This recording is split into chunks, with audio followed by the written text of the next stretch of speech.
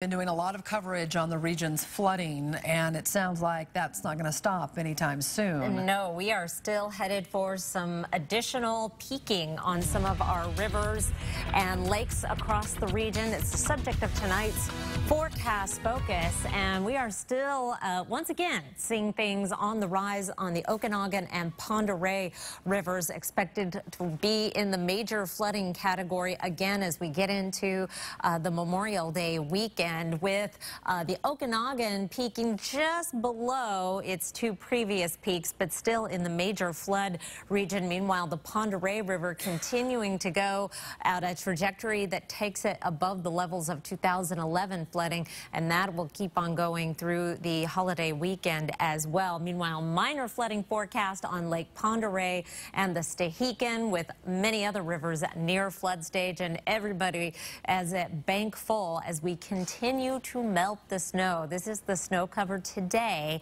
and we still have a lot of snow to melt, and mainly we are looking to British Columbia and western Montana, the snowpack there feeding the headwaters of those rivers that are running so high.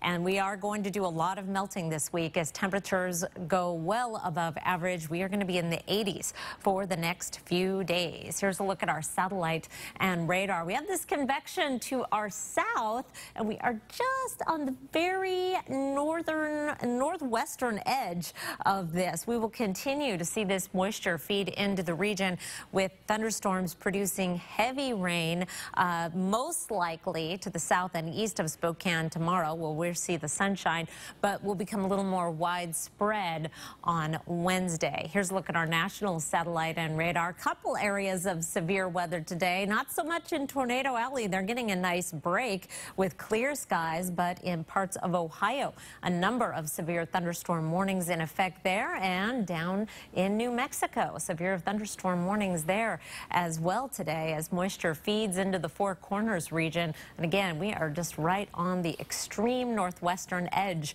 of that.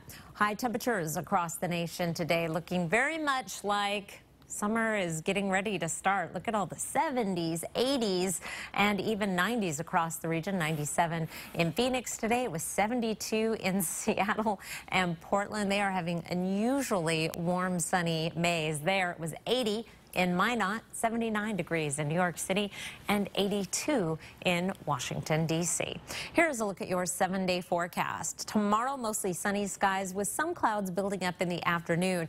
Chance of showers and thunderstorms Wednesday. We're going to stay in the 80s through Thursday. More unsettled weather Friday and Saturday in all th three cases where you see those showers and thunderstorms on the graphic. That is afternoon and evening convection. Memorial Day is Monday, and right now it looks like it is going to be sunny and warm for Sunday and Monday. Nadine? All right. Thank you for that, Kris.